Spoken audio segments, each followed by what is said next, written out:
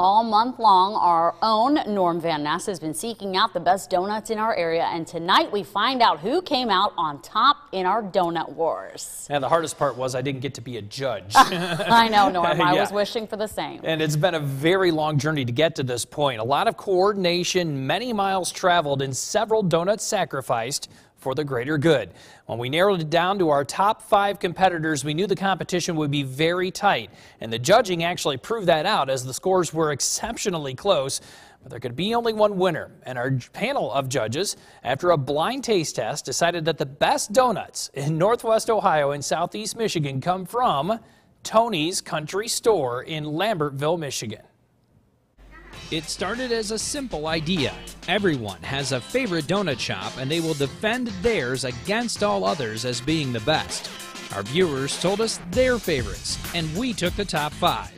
Then we arranged for them to meet on the donut battlefield in front of our panel of judges. They didn't know where the donuts were from and had the tough task of picking just one winner out of our area's best donut makers. And now it's come down to the time to make it official and introduce you to our Donut Wars winner or winners, plural, because we've got the entire gang here. On behalf of WNWO, we want to present this plaque to our friends from Tony's Country Store and congratulate them on being our winners of our Donut Challenge. Congratulations! Now, Tony's was easily the smallest of the operations in our competition. Outside of the donuts, Tony's is a convenience and liquor store. Essentially, three businesses under one roof. Not easy to pull off if you don't have the right people. Uh, I got a great crew. Uh, they took their lessons well. and I just appreciate that everybody thinks we're so good. I'm glad we're going to put Tony's on the map, you know, I mean, because I tell everybody about our donuts, so I'm happy that everybody else agreed with us.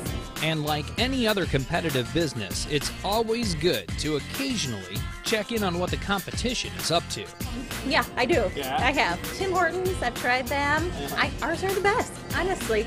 And our judges agreed. Congratulations to Tony's Country Store, winner of the WNWO Donut Wars. And with that, the war is over. Now, we don't want any of our other competitors to feel down in any way. The fact that the people of our area were so passionate about their support of all of you speaks volumes to your commitment to the craft. Many thanks to Ideal Bakery in Gibsonburg, Morning Fresh in Adrian, Wixey Bakery in Toledo, and Syd's over in Sylvania. All of you make our mornings better by giving us that sweet circle of escape that we all love so much. And it's my sincere hope that those of you at home will support these and other local bakeries in our area with your patronage. All donuts are good, but only a few are great. And we've got some darn good ones right here in our own backyard. Angie, back to you.